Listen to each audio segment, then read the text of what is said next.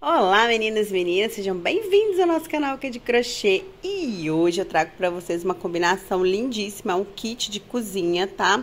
E eu vou dar uma dica bem legal aqui para vocês que gostam de ter aí é, ideias, né, de tamanhos para estar tá fazendo a sua pronta entrega, tá, meus amores? Dispense os mosquitinhos, porque hoje tá aquele dia que parece que vai chover, mas não chove, e aparece um monte de mosquitinho, tá? Então, eu tenho aqui alguns tons de amarelo, porque hoje a combinação é com amarelo. Comecei as minhas bases com esse amarelo bebê lindíssimo, era uma sobra, tá? E aí, eu fui colocando cores é, que combinassem com eles. Então, eu vou dar aqui uma dica bacaníssima para vocês de combinação de cores com o amarelo, tá bom, meus amores? E se você é novo por aqui, chegou agora de paraquedas, já se inscreva aqui no nosso canal, porque aqui tem sempre novidade. Olha que coisa mais linda que ficou aqui os nossos esquezinhos, tá?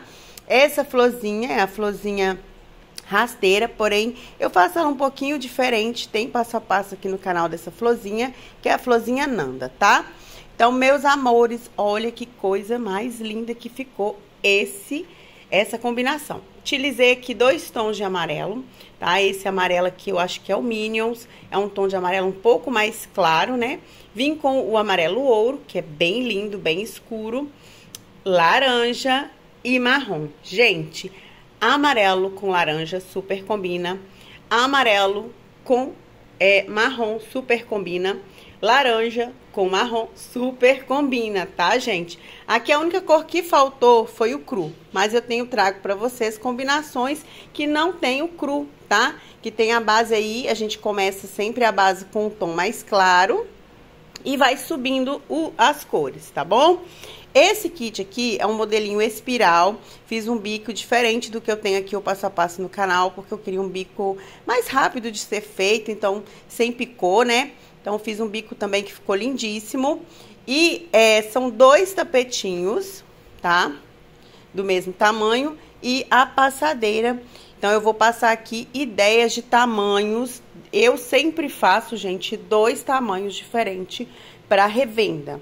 Um menor e um maior. O menor, a passadeira fica em torno de um metro a um metro e dez, tá? E o maior, a passadeira chega a 1,20m, 1,30m no máximo. Então, eu sempre faço, por exemplo, esse jogo, é, fiz aqui os tapetinhos que ficaram com 70 centímetros por 47 e a passadeira ficou 1,12m, tá? Passou um pouquinho de 1,10m, 1,12m por 47 de largura.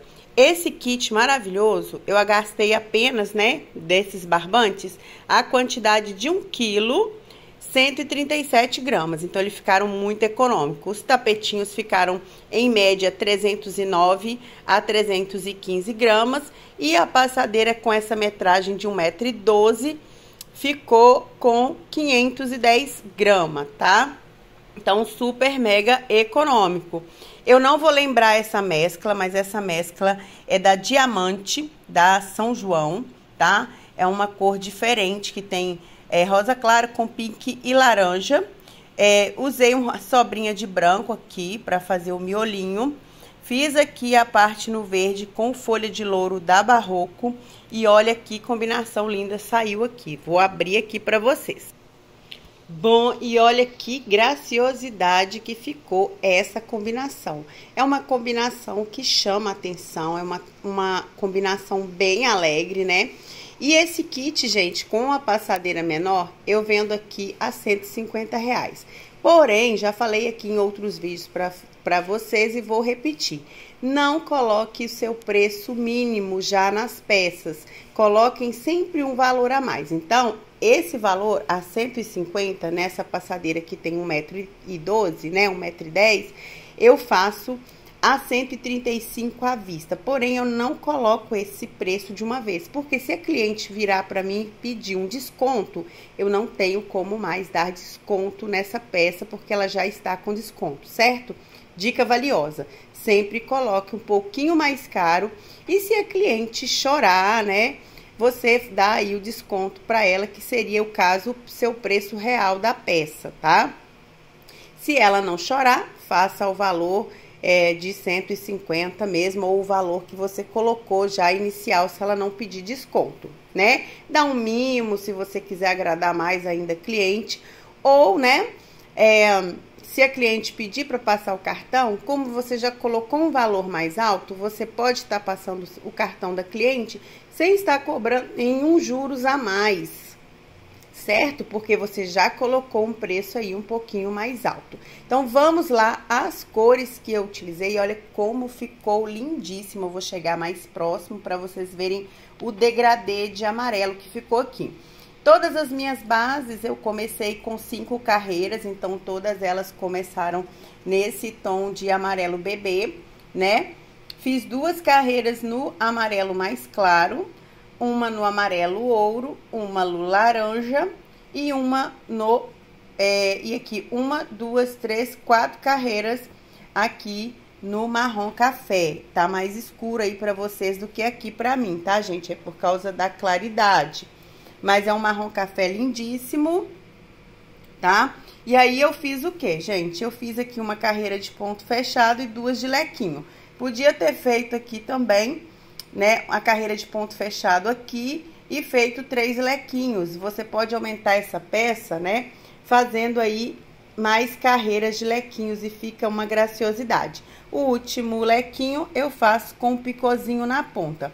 Ah, para que a peça fique bem assentada e não fique embabadando, sugiro que vocês coloquem apenas o lequinho com dois pontos altos separados por duas correntinhas, ao invés do, do de estar tá usando aqui o, o lequinho tradicional, que é com três pontos altos, tá? Para que não haja, é, não embabade a peça, né? Não fique sobrando pontos. Se você gostou dessa combinação diferente, tira aí já o seu print, porque eu me apaixonei com essa combinação. Deixa aqui nos comentários se você já fez essa combinação. E se você gostou da dica aqui que eu estou te dando de precificação dessas peças, que seria o quê? Colocar um valor um pouquinho mais alto e se a cliente pedir aí um desconto, né? Ou na hora da negociação que vocês estiverem fazendo, você pode dizer: olha, se você quiser, é, te dou um desconto no pagamento à vista, né? No Pix ou no dinheiro. E no cartão, se você necessitar, eu divido até duas vezes sem juros, sem acréscimo algum. Seja um negociante e venda muito bem o seu artesanato por aí, tá bom? Então, vou abrir essa aqui, é igualzinha. Eu vou abrir aqui a maior para vocês, que é, no caso, a passadeira. A passadeira, gente, com essa metragem de 1,10m, 1,12m, no meu ponto, lembrando que aqui eu utilizei barbantes é, grosso, tá, gente? Aqui, é, esse aqui é fio 6 e esses três carreirinhas aqui é no fio 8, tá? Os amarelinhos aqui é no fio 8 e o resto no fio 6. Então, por isso que ele ficou aí com 1,12m. Se você quiser, né, se seu ponto é mais apertado, deixa eu puxar aqui para vocês poderem ver essa lindeza. Se o teu ponto é mais apertadinho, ó, olha que coisa mais linda. Eu coloquei por cima do outro, gente, olha que lindeza que ficou aqui a nossa passadeira, tá? Eu utilizei sete squarezinhos. Se você tem o ponto mais apertadinho, Vou te dar duas sugestões para que você consiga chegar aí a no mínimo 1,10m para o seu kit econômico, né? O seu kit mais econômico. Você pode estar fazendo a união já na cor de base, ou seja, faz todos os squarezinhos já passando o verde e depois vem fazendo a união já na cor. Aí você vai fazer sete squarezinhos já, né, passado verde e depois vem fazendo a emenda do square já na cor de base.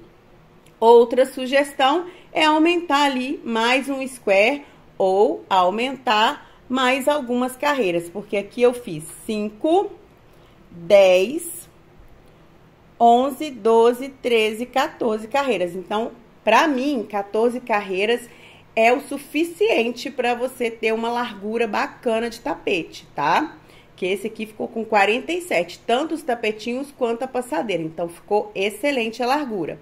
Então, se você quiser que aumente, né? Quanto mais square você coloca, mais compridinha vai ficar a sua passadeira. Por exemplo, a minha passadeira para 1,20m eu uso 9 squarezinho desse. Claro que a gente tem aí hoje squares diferentes que são maiores, tá? Esse square, no caso, ele tem três carreiras. Se você pegar um square aí que já tenha quatro carreiras ou mais, ele vai ficar maior o seu trabalho, tá? Então, espero que vocês tenham gostado de todas as dicas aqui. Faça essa dica de venda e faça essa dica de produção. Faça dois, pode pegar o mesmo modelo. Por exemplo, esse modelo é um modelo bem comum, que é o espiral. Pegue o mesmo modelo, mas faça tamanhos diferentes para você ter a opção do é, jogo de cozinha maior e o jogo de cozinha menor, certo? Por quê? Porque aí se a cliente fala assim, ah, eu queria maior, você tem o maior. Ah, não, eu prefiro um menorzinho. E coloque aí valores diferenciados, porque aí a cliente também vai perceber, né? Se, por exemplo, ela chegou, esse aqui é 150, com a passadeira de 1,10m. Se ela chegar e não, não tiver condição de estar comprando aí a maior, que eu vendo aqui a 170 no prazo, 150 à vista, né? Então, faça aí essas opções, né? É, de tamanhos diversificados, pelo menos essas duas opções, para você ter uma pronta entrega bem bacana. Aqui super dá certo para mim, tá? E essa combinação eu ainda não testei, não vou mentir para vocês. É a primeira vez que eu faço essa combinação e eu me apaixonei. Então vamos ver como vai ser a saída desse kit, né? Porque é uma combinação diferente. E, gente, sempre crie, sempre inove, sempre faça combinações diferentes. Tenha opções, né, mais vibrantes, mais chamativas, tenha opções mais neutras, porque a gente nunca sabe o que realmente vai agradar a cliente. Então, a gente vai criando coisas e aí a gente vai vendo o que que sai mais, o que que sai menos e vai repetindo ali o que tem mais saída, beleza? Então, meus amores, espero que você já tenha deixado aí o seu, o seu joinha, o seu gostei aqui no nosso vídeo. Espero que você já tenha tirado o print. E não esqueça de deixar aqui o comentário, o que, que você achou dessa combinação lindíssima. Um beijo grande e até o próximo vídeo. Tchau, tchau!